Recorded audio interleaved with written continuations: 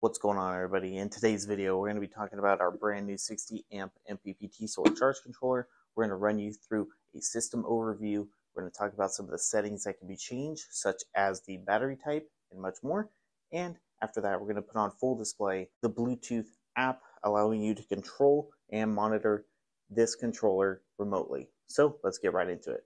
All right, now let's change the battery's uh, type on the controller. You do that by holding menu and once you see the gear icon flashing, go ahead and cycle through the options by hitting OK, or you can go back by hitting menu. So since we're using a lithium battery, go ahead and select lithium by holding down menu again. And once the gear icon stops flashing, then you're good to go. Okay, now it's time to install your temperature sensor, and that's super easy as it's located right down here. So you just go ahead and plug it in and just like that, your temperature sensor is now installed. Now, if we notice over here, here is the RS485 communications port. Okay, now comes time to change parameters. So on this, it's really helpful because as you see up here, when the gear icon appears next to a certain data point, that means it can be changed. And when it doesn't appear, that means that this parameter cannot be changed. For instance, for the battery, it's showing a gear icon we just go ahead and hold down menu until the gear icon starts flashing. That's when you know you're good to go ahead and change your parameter. So you just cycle between it by going and hitting OK, or you can go back by hitting menu. And then once you selected the proper parameter, go ahead and hold down menu. And just like that, when the gear icon stops flashing, your parameter is now set. All right, now let's run you through the indicators on both sides of the LCD screen and what they mean. But for that, let's go and take you on inside. The top left is for your solar array. If it is on, the solar panel is connected but not charging. If it has a fast flash, that means MPPT charging. If it's flashing, you're equal or boost charging. Next is your battery. It'll be yellow.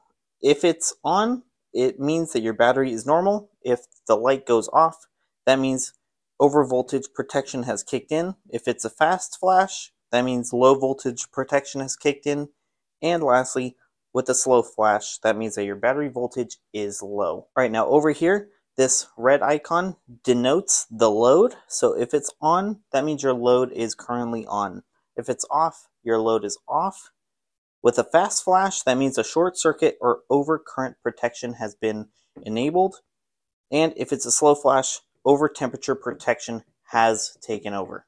Then lastly, as we see right here, this pertains to Bluetooth connection. If it's off, there's no Bluetooth connected, but if it's fast flashing, that means there is normal Bluetooth connection. Then as we see right here, the LCD screen shows a few data points, which is important. So on the left here, you'll see a battery icon, and it'll also denote how charged your battery currently is. And then as the screen cycles between each operating data point, you're going to see different uh, numerical data. You'll also see different meanings such as amps, and then you'll see volts uh, for your battery.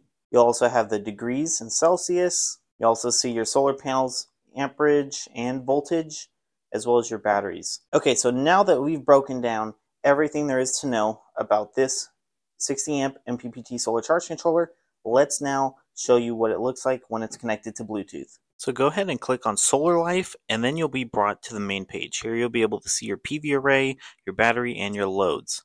So if you go over to monitoring here, you'll be able to see what your solar panels putting out in terms of voltage and current. Same for battery. You also see its temperature, its battery status, as well as its charge and discharge status. Then if we go over to load, you'll be able to see the same thing in terms of voltage, current, and the power as well as the energy consumed during the day, as well as total energy consumed. Then if we go to parameter settings, you'll be able to look at your device parameters. You'll be able to go through your battery parameters. At the bottom, you'll see uh, you can toggle advanced settings.